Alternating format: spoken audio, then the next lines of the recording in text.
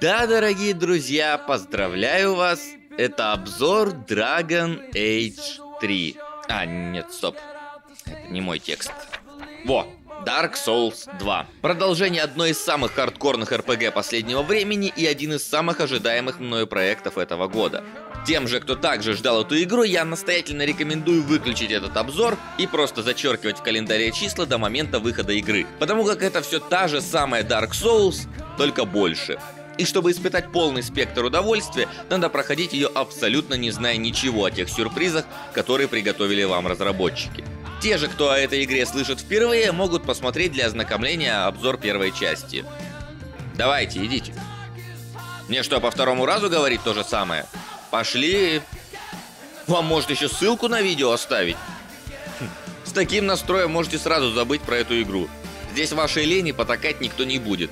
Не можете пройти, никто вам не поможет. Либо вы будете стараться и со скрипом продвигаться вперед, либо так и будете торчать в самом начале. Расскажу историю, за которой наш рабочий чатик следил в течение всей той недели. Я три дня не мог победить босса. Не то, чтобы я сидел за игрой не вылазя, но часа по 3-4. Ходил к нему как на работу и каждый раз получал люлей. Я уже почти впал в отчаяние. Потому что для обзора надо наснимать разных локаций. А я не могу пройти дальше, внимание, второго босса в игре. Думал пофармить душ, чтобы прокачаться и победить его. Но не тут-то было. Если раньше после каждого сидения у костра враги восстанавливались, то тут оказалось, что после 10 или 15 смертей они пропадают. Можно сказать, что это упрощает игру, но по факту ситуация получилась патовая. В одну сторону меня не пускают ворота, в другой стоят довольно сильные мобы, а в третий босс, которого я бью уже третьи сутки. И даже пофармить уже негде. Причем каждая моя следующая с ним битва становится все сложнее и сложнее, ведь во второй Dark Souls после смерти вы не просто тратите человеческий облик, что на самом деле не очень пугало в оригинале.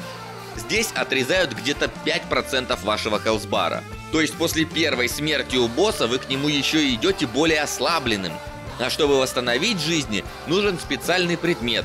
Но он не так часто валяется под ногами, но у торговцев стоит немало душ. А их вам даже пофармить негде. Впервые за долгое время я ощутил безысходность. Ведь нет еще никаких гайдов, специальных википедий, даже прохождений на ютюбе в 100-500 частях. Но я таки сумел найти выход, и в какой-то момент даже убить босса. И черт побери, давно не получал от победы такого удовлетворения. То чувство, когда ты выиграл не потому, что тебе игра поддалась, а потому, что ты сумел затащить своим скиллом.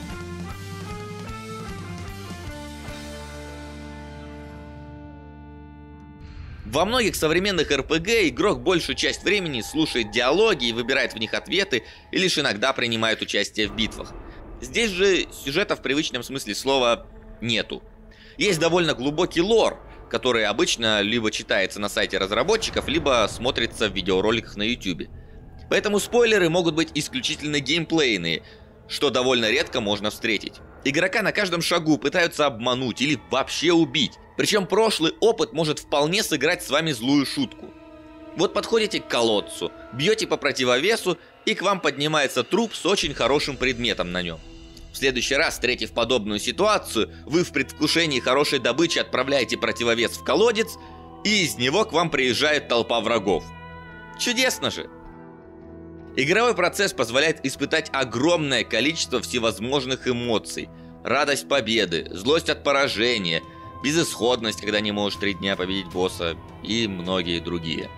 Вы становитесь более внимательным, при входе в помещение заглядываете в каждый угол, аккуратно подходите к лежащему где-то в потаенном месте предмету и следите за движениями врагов. Даже страх, совмещенный с любопытством, можно испытать в Dark Souls 2. Когда открываешь дверь и не знаешь, что за ней, а там... Гадость какая! Но хотя они явно не пролезут в этот дверной проем, так что... Ай, да ну нафиг! А почему такая реакция?